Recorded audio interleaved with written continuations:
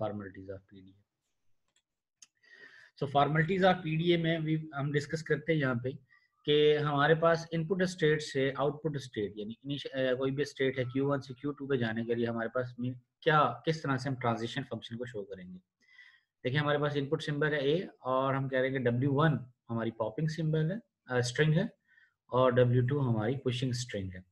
तो इसको अगर ट्रांजिशन फ़ंक्शन की फॉर्म में लिखें तो आप कहेंगे कि डेल्टा ट्रांजिशन फ़ंक्शन हमारा है क्यू वन आने पे ए इनपुट होना चाहिए। W1 को पॉप करेंगे और आपकी आउटपुट स्टेट हो जाएगी क्यू टू और डब्ल्यू टू जो है वो आपकी पुशिंग से सब स्ट्रिंग हो जाएगी। अच्छा दूसरा आप नोट करें तो यहाँ पे जो पहली वाला डेल्टा ट्रांजिशन फ़ंक्शन के अंदर है, यहाँ पर पैरेंथेसिस है। और यहाँ आउटपुट इज़ इक्वल टू के बाद जो राइट हैंड साइड पे है यहाँ करली ब्रेसेस के अंदर पैरेंथेसिस है। इसका मतलब ये है कि वन पॉसिबिलिटी है। इससे ज़्यादा पॉसिबिलिटी भी हो सकती है। ये सेट की नोटेशन है। करली ब्रेसिस के अंदर लिखा गया है यानी ये एक एलिमेंट है इससे ज़्यादा भी यानी आउटपुट आपका Q2, Q3, Q4 भी हो सकता है। मल्टीपल भी हो सकते हैं। इस तरह के ऑर्डर पेयर यहाँ देखिए ये एग्जांपल अनदर एग्जांपल अगर Q1 पे है आप Q2 पे भी जा सकते हैं और Q3 पे भी जा सकते हैं। तो ट्रांजिशन फ़ंक्शन क्या हो जाएगा? कि Q1 पे A आने पे अगर इनपुट पर W है तो आउटपुट W2 भी हो सकता है और आउटपुट W3 भी हो सकता है। आउटपुट स्टेट W Q2 भी हो सकती है और आउटपुट स्टेट Q3 भी हो सकती है। तो ये नॉन डिटर्मिनिज्म को शो कर रहे हैं यहाँ पे।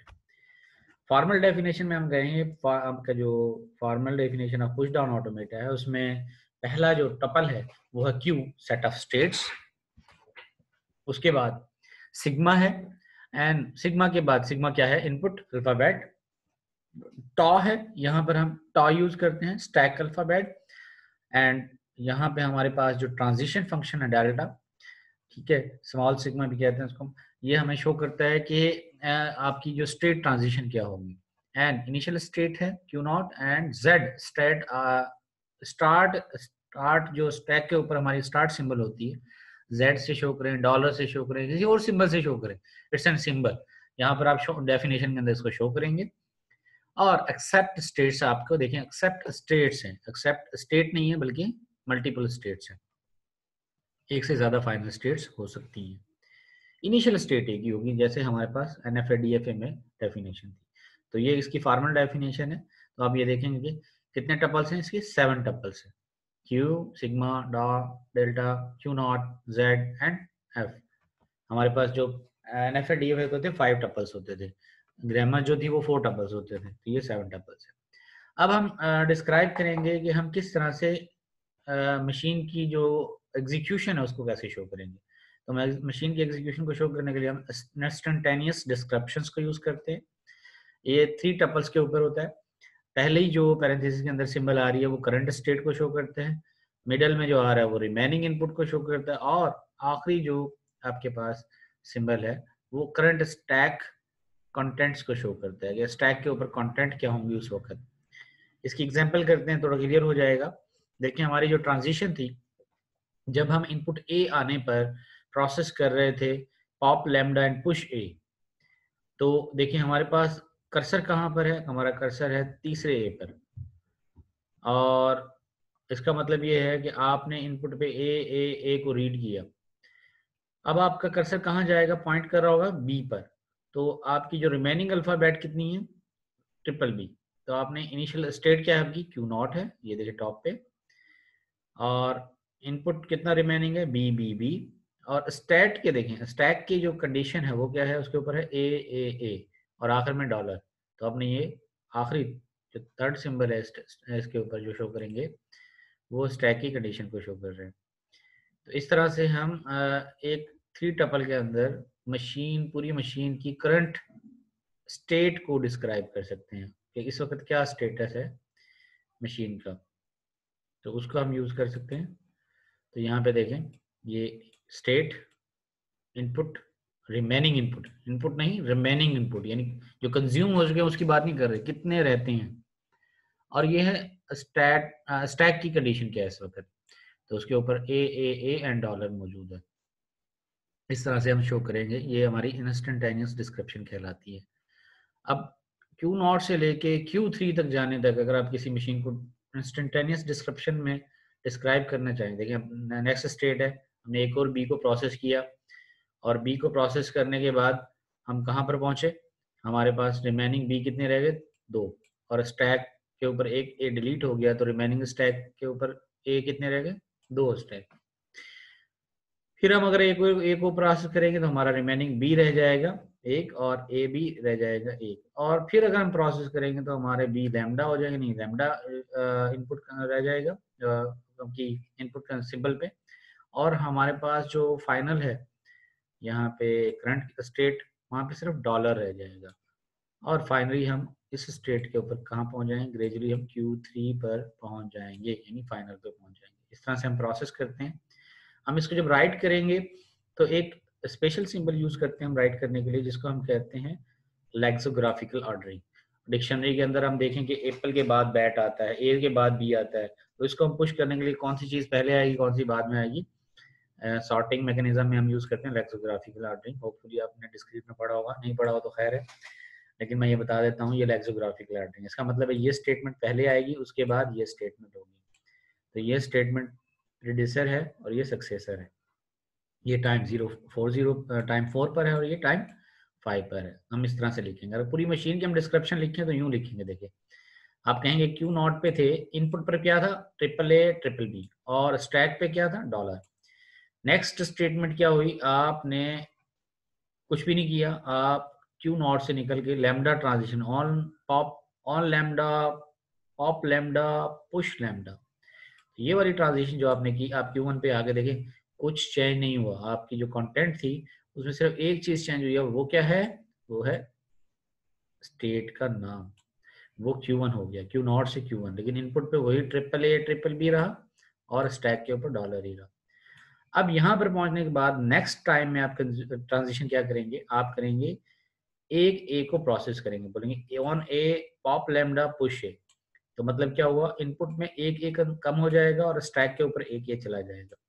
फिर आप बोलेंगे on A pop lambda push A यानी आप कुछ नहीं पॉप कर रहे, सिर्फ़ पुश कर रहे। तो देखें, एक ए और कम हो गया और स्टैक के ऊपर दो ए आ गए। फिर तीसरी में आपने कहा on lambda input A on input A pop lambda push है तो यानी ए यहाँ पर बिल्कुल खत्म हो गए, सिर्फ़ सिर्फ़ बी रह गए और स्टैक के ऊपर तीन ए आ गए। अब नेक्स्ट ट्रांजिशन क्या होगी? आपकी स्टेट चेंज होगी, क्योंकि अब आप कह रहे हैं ऑन बी क्योंकि इनपुट पे आपकी क्या रह गया? ट्रिपल बी तो पहले बी को जब कंज्यूम करेंगे तो आपकी स्टेट चेंज हो जाएगी, आप आ जाएँगे क्यू टू पे। तो रिमेनिंग इनपुट आपके पास डबल बी रह गया। और स्टैक के ऊपर से एक ए डिलीट हो जाएगा तो एक दो ए रह जाएँगे। फिर आप इसी ट्रांजिशन को रिपीट करेंगे, ये वाला, ये वाली ट्रांजिशन चलेगी। आप कहेंगे on B pop A and push lambda आप कुछ नहीं पुश कर रहे हैं, सिर्फ़ ए को डिलीट कर रहे हैं। तो ये वाला सिंगल ए रह गया और सिंगल बी रह गया। अब आप सिंगल वाले बी जो आखिरी बी है, उसको भी आप कहेंगे on B pop A push lambda मतलब ए भी डिलीट हो गया और बी भी डिलीट हो गया। तो नेक्स्ट स्टेट आपकी ये आ गई। अब देखिए, आप क्यू टू पे हैं इनपुट पे कहीं कुछ भी नहीं है और स्टैक पे भी कुछ नहीं है। जब इनपुट पे कुछ भी नहीं है तो आप कौन सी ट्रांजिशन चलाएँगे? On lambda pop dollar push dollar ये वाली ट्रांजिशन चलेगी। क्योंकि इनपुट कंज्यूम हो चुका है। और स्टैक वहाँ पे पहुँच गए, आप डॉलर पे पहुँच गए तो डॉलर को चेक करेंगे हाँ आप एंड ऑफ़ स्टैक पे है, उसको वैसे ही रहने देंगे पुश करेंगे दोबारा से और आप फाइनल स्टेट पे पहुँच जाएँगे, जो कि आपकी फाइनल स्टेट है, जो कि एक्सेप्ट स्टेट है। अब यहाँ पे आपने देखें इनिशियल स्टेट से पूरी ट्रांजिशंस के ज़रिए पूरा प्रोग्राम शो कर दिया कि आप किस तरह से स्ट्रिंग को प्रूव करेंगे, ये string part of the language है या नहीं है। अब हम इसको ब्रीफली डिस्क्राइब कर सकते हैं पार्ट ऑफ़ द लैंग्वेज है या नहीं, हम कहते हैं इस स्टेट से लेके इस स्टेट तक आपके पास एक या एक से ज़्यादा ट्रांजिशन हुई है। तो आप उसको फ्लेक्सोग्राफिकल ऑर्डरिंग के ऊपर जो सिंबल है, उसको स्टार लगाएँगे। आप कहेंगे, ये इनपुट हो तो आउटपुट इस पे जाया जा सकता है। अगर ऐसा है और ये Q3 फाइनल स्टेट है तो आप कहेंगे, ये इनपुट जो W है this W belongs to belongs to L language जो आपकी मशीन की लैंग्वेज है। तो इस सेंस में आप यहाँ डिस्क्राइब कर सकते हैं कि पूरी ब्रीफली डिस्क्राइब करें तो आप इसको समराइज कर सकते हैं। लेकिन आप एक्सप्लेन करेंगे जब कि किस तरह से इनपुट से फाइनल पे पहुँचा, यानी क्यू नॉट से क्यू थ्री पे पहुँचा, आप पूरी ये डिस्क्रिप्शन लिखेंगे कि किस तरह से आपकी लेक्सोग्राफिकल ऑर्डरिंग के ज़रिए कि क्या क्या स्टेटमेंट हुई एग्जीक्यूट हुई और किस तरह से आप फाइनल स्टेट पर पहुँच गए। तो इस लेक्सोग्राफिकल ऑर्डरिंग से आप पूरी एग्जीक्यूशन ऑफ़ मशीन को शो कर सकते हैं। अब हम आगे चलते हैं। यहाँ पर हम देखें लैंग्वेज को जब डिस्क्राइब करेंगे तो हम कहेंगे डब्ल्यू जो था हमारा, वो लैंग्वेज का पार्ट है, यानी हम कहते हैं language of machine is W और डब्ल्यू क्या है? व्हाट इज़ डब्ल्यू हम कहते हैं आप इनिशियल स्टेट पे हैं और डब्ल्यू इनपुट हो तो वो डब्ल्यू आपको और आपकी स्टेट का हालत क्या है? उसके ऊपर जेड है। अब जेड मैंने एक सिंबल यूज़ किया और एस मैंने अदर सिंबल यूज़ किया हमने कहा इनिशियल स्टेट है और आपके पास इनपुट डब्ल्यू है। आप यूजिंग इंस्टेंटेनियस डिस्क्रिप्शन यानी सेट ऑफ़ स्टेटमेंट एग्जीक्यूशन के ज़रिए आप पहुँच जाएँगे फाइनल स्टेट पे क्यू एफ़ फाइनल स्टेट पे। और आपका इनपुट कंज्यूम हो चुका होगा मतलब इनपुट लेफ़्ट रह जाएगा। हाँ स्टैक के ऊपर हमने सिंबल चेंज कर दिया हमने कहा एस जैसे देखिए, मैंने शुरू में भी आपको कहा था कि स्टैक का कंसर्न नहीं है हमारे पास। हमारी मशीन के डिज़ाइन पे डिपेंड करता है कि स्टैक हम खाली करना चाहते हैं और स्टैक के ऊपर एक दो सिंबल रहना देना चाहते हैं। तो हमारी मशीन जैसे डिज़ाइन करेंगे, उसके ऊपर हम पुश करेंगे। तो इस तरह से हम इसको कंटिन्यू करते हैं। करते हैं। So P D accept context free language अंदर हम मैपिंग करते हैं लैंग्वेज की एज यू नो कि मशीन्स के ऊपर हम कौन सी लैंग्वेज प्रोसेस होती है, उनका लैंग्वेज का नाम रखते हैं। यहाँ पे हमने कहा कि जो P D A language accept करता है, उस लैंग्वेज को हम कॉन्टेक्स्ट फ्री लैंग्वेज कहते हैं। So P D accept context free language अब हम थ्योरम को देखेंगे कि कॉन्टेक्स्ट फ्री लैंग्वेज या कॉन्टेक्स्ट फ्री ग्रामर से जनरेट होती है। तो कॉन्टेक्चुअल लैंग्वेज या ग्रामर वो पीडी एक्सेप्ट करता है। ठीक है? इसको प्रूफ करने के लिए हमारे पास वही सेट नोटेशन है। हम सबसेट थ्योरी यूज़ करते हैं यहाँ पर हम कहते हैं कि कॉन्टेक्स्ट फ्री लैंग्वेज या grammar accept subset of language accepted by PD और दूसरी तरह से हम कहते हैं कि language accepted by PDA is subset of language are context free grammar तो दोनों एक दूसरे का सबसेट तभी पॉसिबल हो सकते हैं जब वो दोनों इक्वल हों।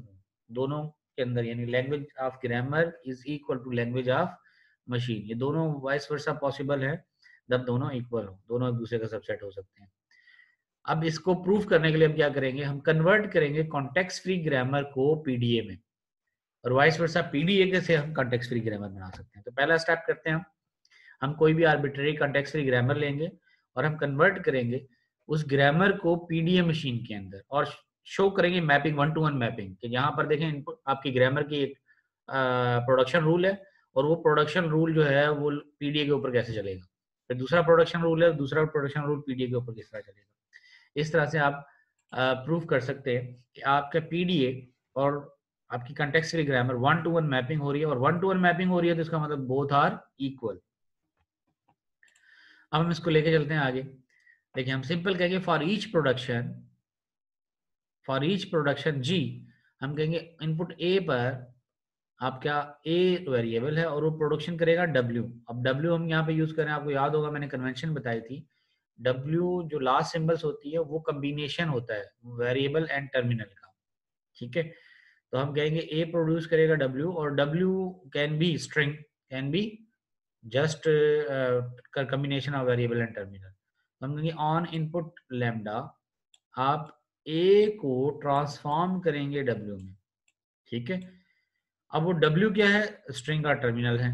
तो अब Q1 पे आ जाएँगे। अब Q1 पे वो स्ट्रिंग और टर्मिनल क्या है? आप कहेंगे ए आने पे ए को पॉप करे पुश करे लैम्डा ए आने पे ए को पॉप करे पुश करे लैमडा यानी ये सिंबल हो गई। तो ये इतनी भी सिंबल आपने डब्ल्यू ने जनरेट की, वो डब्ल्यू जनरेट हो गया। सिंबल जनरेट होगी। उन सिंबल के वन बाय वन हम उसको प्रोसेस करेंगे। यानी जितनी भी सिंबल अब यहाँ पे हम अज्यूम कर रहे हैं कि सिंबल ए है। तो ए आने पे पॉप कर देंगे ए स्टैक के ऊपर भी तो ए है ना?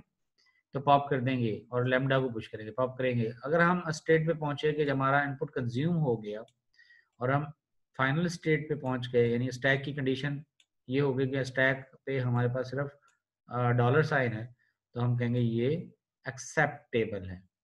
फॉर ईच टर्मिनल हमें ये ट्रांजिशन शो करनी होगी। इसके एक सिंपल कन्वर्जन प्रोसेस है कि आपने क्या करना है? रूल को ट्रांसफॉर्म करना है ट्रांजिशंस के अंदर। और वो ट्रांजिशंस आपकी फाइनल स्टेट में लेके जा रही है उस पीडीए मशीन को। इसकी एग्जांपल करते हैं। एग्जांपल से और क्लियर हो जाएगा आपको। लेफ़्ट साइड पे आपको ग्रामर नज़र आ रही है। ग्रामर में देखें S produce A S variable T variable and B terminal S से हमारे पास जनरेट हो रहा है सिंपली बी टर्मिनल टी से जनरेट हो रहा है T variable and A terminal और आखिर में टी अपने आप को खत्म कर लेता है यूजिंग लेमडा प्रोडक्शन ये हमारे पास सिंबल है। अब इस ग्रामर को हमने पीडीए के ऊपर मैप करना है। गौर कीजिएगा, इस ग्रामर से प्रोड्यूस क्या होगा? एज और बी ऐसा ही है? ए और बी प्रोड्यूस हो रहे हैं। तो ए एस टी बी अब एस की जगह पे क्या आ जाएगा? बी आ जाएगा, क्योंकि एस खत्म हो जाएगा। जब उसको फिनिश करना हो तो वो अपने आप को बी में कन्वर्ट करेगा और फिनिश हो जाएगा। टी क्या करेगा? टी ए को प्रोड्यूस करेगा और कंटिन्यूसली चलता जाएगा और जब स्टॉप करना होगा लेमडा बन जाएगा।